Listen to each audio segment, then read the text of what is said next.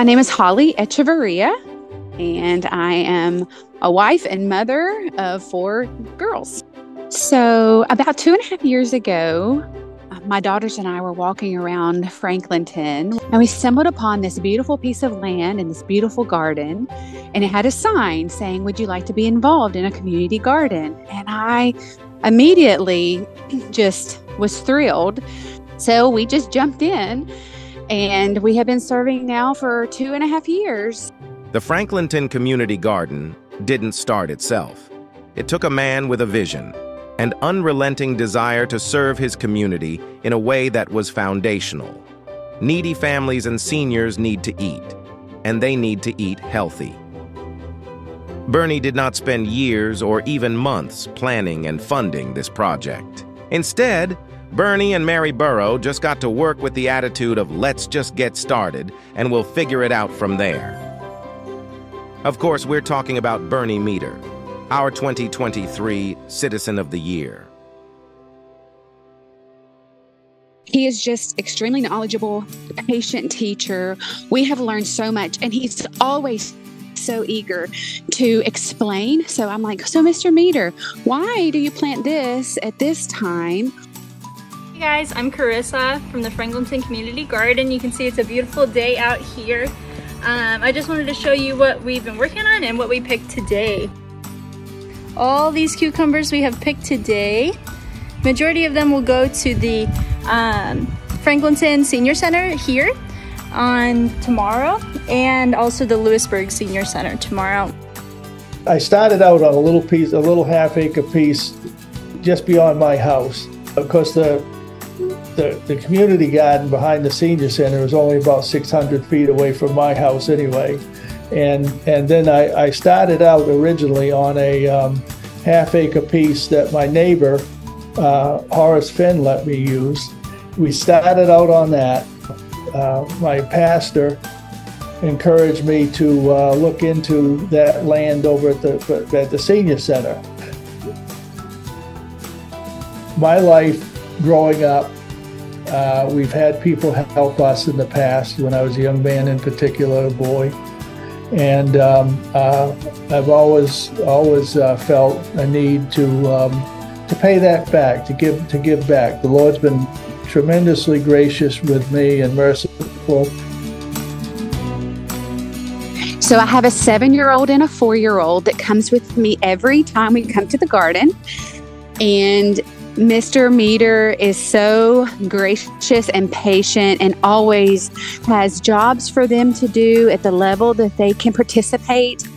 The variety of crops produced last year is truly impressive, from lettuce to leeks, cucumbers to collards, and peppers to potatoes. Just as important is the introduction world crops like bok choy and Chinese cabbage. And um, uh, I wanted to give back and uh, uh, you know, make a contribution to the community. Really, that's that's that's what it's all about. Yeah. He's a humble teacher, extremely knowledgeable. I always joke when I tell people about the garden that Mr. Meter could make things grow out of the concrete parking lot over there. The volunteers uh, are, are, are wonderful, naturally everyone can give so much time. You know, we have people that come in and and like we have Holly that'll come in and do an hour a week, an hour and a half a week. We're, we're here. This is a, a beautiful little town, and uh, we're here to su- to support the community and, and the senior citizens and needy families. All the garden expenses were self-funded but as the garden grew in size and production, awareness also grew. Small to moderate donations began funding the garden, and then the Calvary arrived in the form of volunteers provided by the United Way. And many of those same volunteers are still out there hoeing and planting today. I, I see the Lord's hand in this, honestly we do it all without, we haven't uh, encumbered the town at all. This has all been through volunteers uh, at, at this point. To take nothing and just turn it into what it is now. by looking at a piece of land like that, as you know, it's been sitting for many years, that it wouldn't have it, it wouldn't have been much to it. But to come and turn it into what it is today, it made my heart warm. And then he just took it from there and he's done good with it to help others.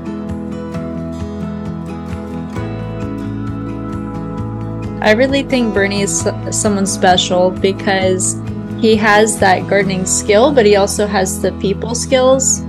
Um, not only when he's gone does the garden get unruly, but sometimes the people do also.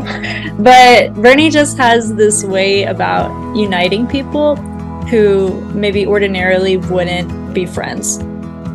We're actually raising about uh, just about two acres to two and a quarter acres of, of, produce altogether with about 20 to 25 different crops. And things are so um, some people just just can't can't afford to uh, uh, buy them. And this is a, what I noticed when I came down here. Um, definitely promotes a cultivation of the love of gardening and the love of community and the love of just people in general Bernie and his team of volunteers has grown and distributed across Franklin County tons of fresh produce. Not figuratively, but literally, tons. Since envisioning this project and then acting upon it, Bernie has touched the lives of thousands of people, many, even most of them, never knowing the graciousness of the man providing it. But we know, and now you do too. Presenting again our 2023 Citizen of the Year, Bernie Meter.